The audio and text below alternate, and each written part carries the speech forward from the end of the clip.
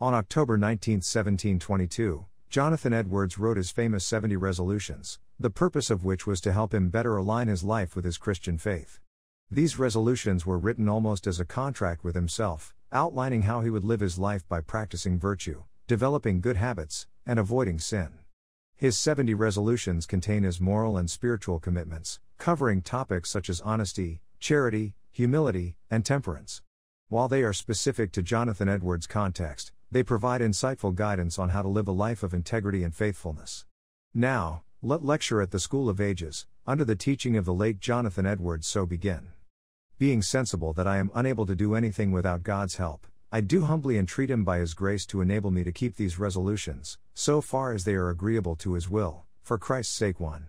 Resolved, that I will do whatsoever I think to be most to God's glory, and my own good, profit, and pleasure, in the whole of my duration, without any consideration of the time, whether now, or never so many myriads of ages hence. Resolved to do whatever I think to be my duty and most for the good and advantage of mankind in general. Resolved to do this, whatever difficulties I meet with, how many and how great soever. 2. Resolved, to be continually endeavoring to find out some new invention and contrivance to promote the aforementioned things. 3. Resolved, if ever I shall fall and grow dull, so as to neglect to keep any part of these resolutions, to reap it of all I can remember, when I come to myself again. 4. Resolved, never to do any manner of thing, whether in soul or body, less or more, but what tends to the glory of God, nor be, nor suffer it, if I can avoid it. 5. Resolved, never to lose one moment of time, but improve it the most profitable way I possibly can. 6. Resolved, to live with all my might, while I do live. 7. Resolved, never to do anything, which I should be afraid to do, if it were the last hour of my life. 8.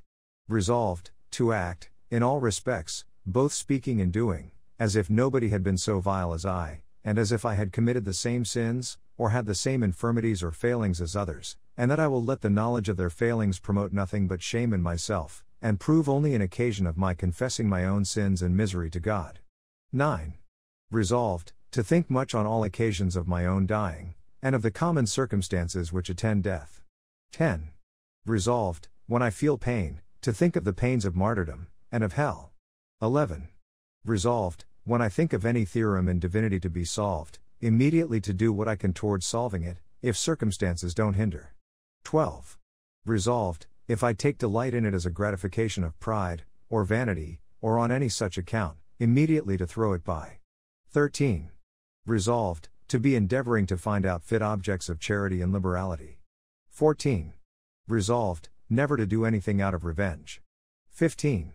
Resolved, never to suffer the least motions of anger to irrational beings. 16.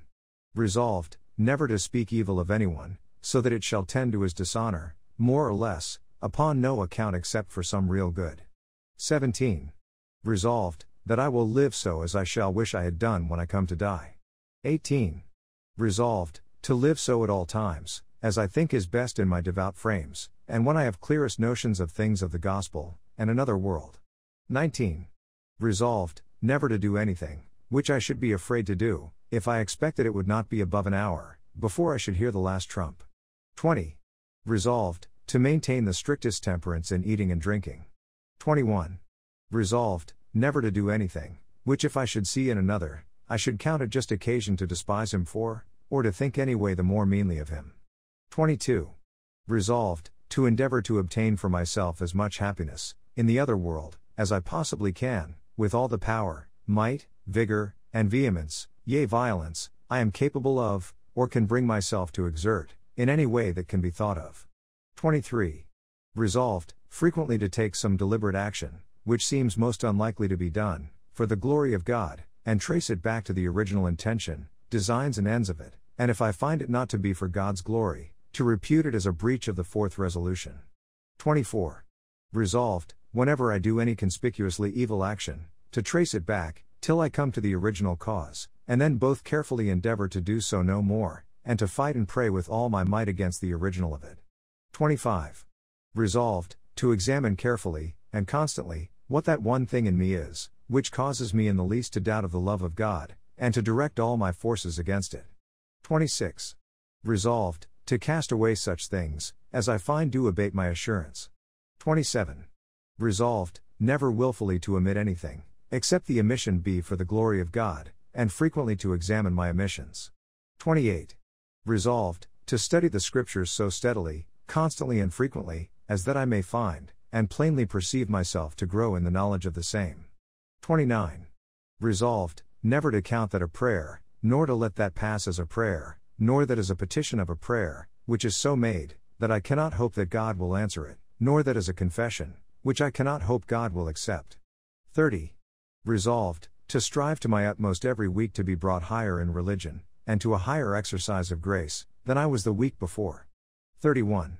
Resolved, never to say anything at all against anybody, but when it is perfectly agreeable to the highest degree of Christian honor, and of love to mankind, agreeable to the lowest humility, and sense of my own faults and failings, and agreeable to the golden rule, often, when I have said anything against anyone, to bring it to, and try it strictly by the test of this resolution. 32. Resolved, to be strictly and firmly faithful to my trust, that that in Proverbs 26, a faithful man who can find? May not be partly fulfilled in me. 33. Resolved, always to do what I can towards making, maintaining, establishing, and preserving peace, when it can be without overbalancing detriment in other respects. Dec. 26, 1722. 34. Resolved, in narrations never to speak anything but the pure and simple verity. 35. Resolved, whenever I so much question whether I have done my duty, as that my quiet and calm is thereby disturbed, to set it down, and also how the question was resolved. December 18, 1722. 36. Resolved, never to speak evil of any, except I have some particular good call for it. December 19, 1722. 37. Resolved, to inquire every night, as I am going to bed, wherein I have been negligent, what sin I have committed, and wherein I have denied myself, also at the end of every week, month, and year. Dec. 22 and 26, 1722. 38. Resolved, never to speak anything that is ridiculous, sportive, or matter of laughter on the Lord's Day. Sabbath evening, December 23, 1722. 39. Resolved, never to do anything that I so much question the lawfulness of, as that I intend, at the same time, to consider and examine afterwards, whether it be lawful or no, except I as much question the lawfulness of the omission. 40. Resolved, to inquire every night, before I go to bed, whether I have acted in the best way I possibly could, with respect to eating and drinking. January 7, 1723. 41. Resolved, to ask myself at the end of every day, week, month, and year, wherein I could possibly in any respect have done better. January 11, 1723. 42. Resolved, frequently to renew the dedication of myself to God, which was made at my baptism, which I solemnly renewed, when I was received into the communion of the Church, and which I have solemnly remade this 12th day of January, 1723. 43. Resolved, never henceforward, till I die, to act as if I were any way my own, but entirely and altogether God's, agreeable to what is to be found in Saturday, January 12. Jan. 12, 1723. 44. Resolved, that no other end but religion, shall have any influence at all on any of my actions, and that no action shall be, in the least circumstance, any otherwise than the religious end will carry it.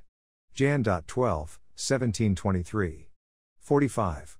Resolved, never to allow any pleasure or grief, joy or sorrow, nor any affection at all, nor any degree of affection, nor any circumstance relating to it, but what helps religion. Jan. 12, and 13, 1723.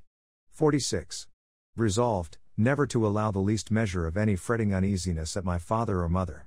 Resolved to suffer no effects of it, so much as in the least alteration of speech, or motion of my Eve, and to be especially careful of it, with respect to any of our family. 47.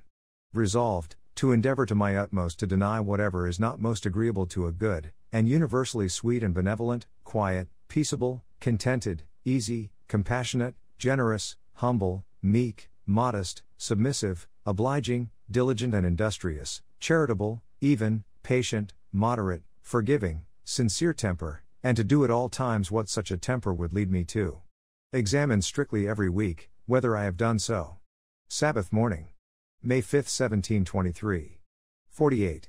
Resolved, constantly, with the utmost niceness and diligence, and the strictest scrutiny, to be looking into the state of my soul, that I may know whether I have truly an interest in Christ or no, that when I come to die, I may not have any negligence respecting this to reap in of.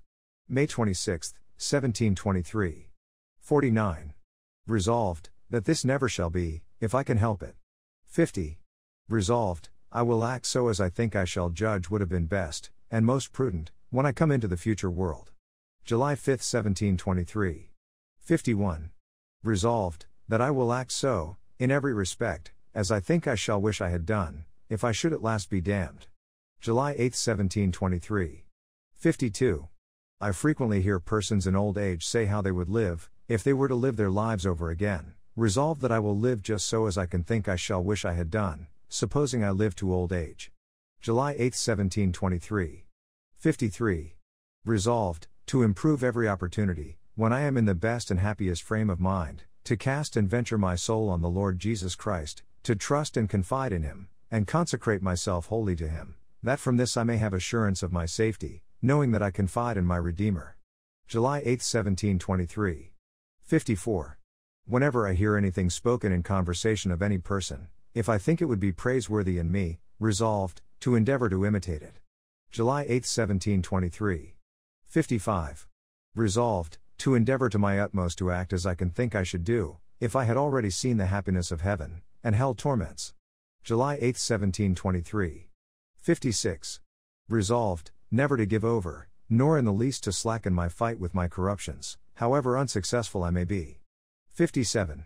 Resolved, when I fear misfortunes and adversities, to examine whether I have done my duty, and resolve to do it, and let it be just as Providence orders it, I will as far as I can, be concerned about nothing but my duty and my sin. June 9, and July 13, 1723. 58. Resolved, not only to refrain from an air of dislike, fretfulness, and anger in conversation, but to exhibit an air of love, cheerfulness, and benignity. May 27th, and July 13th, 1723. 59. Resolved, when I am most conscious of provocations to ill nature and anger, that I will strive most to feel and act good naturedly, yea, at such times, to manifest good nature, though I think that in other respects it would be disadvantageous, and so as would be imprudent at other times. May 12th, July 2nd, and July 13, 1723. 60. Resolved, whenever my feelings begin to appear in the least out of order, when I am conscious of the least uneasiness within, or the least irregularity without, I will then subject myself to the strictest examination. July 4th, and 13th, 1723. 61. Resolved, that I will not give way to that listlessness which I find unbends and relaxes my mind from being fully and fixedly set on religion, whatever excuse I may have for it that what my listlessness inclines me to do, is best to be done, etc. May 21st, and July 13, 1723. 62. Resolved, never to do anything but duty, and then according to Ephesians 6 6 8, do it willingly and cheerfully as unto the Lord, and not to man, knowing that whatever good thing any man doth, the same shall he receive of the Lord. June 25 and July 13, 1723. 63. On the supposition, that there never was to be but one individual in the world, at any one time, who was properly a complete Christian, in all respects of a right stamp, having Christianity always shining in its true luster, and appearing excellent and lovely, from whatever part and under whatever character viewed, resolved, to act just as I would do, if I strove with all my might to be that one, who should live in my time. Jan. 14, and July 3, 1723. 64. Resolved, when I find those groanings which cannot be uttered, Romans 8:26, of which the apostle speaks, and those breakings of soul for the longing it hath, of which the psalmist speaks, Psalm 119:20, that I will promote them to the utmost of my power, and that I will not beware of earnestly endeavoring to vent my desires, nor of the repetitions of such earnestness. July 23 and August 10, 1723. 65. Resolved, very much to exercise myself in this all my life long, viz. With the greatest openness I am capable of, to declare my ways to God, and lay open my soul to Him, all my sins, temptations, difficulties, sorrows, fears, hopes, desires, and everything, and every circumstance, according to Dr. Manton's 27th Sermon on Psalm 119. July 26 and August 10, 1723. 66. Resolved, that I will endeavor always to keep a benign aspect, and air of acting and speaking in all places, and in all companies, except it should so happen that duty requires otherwise.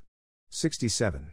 Resolved, after afflictions, to inquire, what I am the better for them, what good I have got by them, and what I might have got by them. 68. Resolved, to confess frankly to myself all that which I find in myself, either infirmity or sin, and, if it be what concerns religion, also to confess the whole case to God, and implore needed help. July 23, and August 10, 1723. 69. Resolved, always to do that, which I shall wish I had done when I see others do it. August 11, 1723. 70.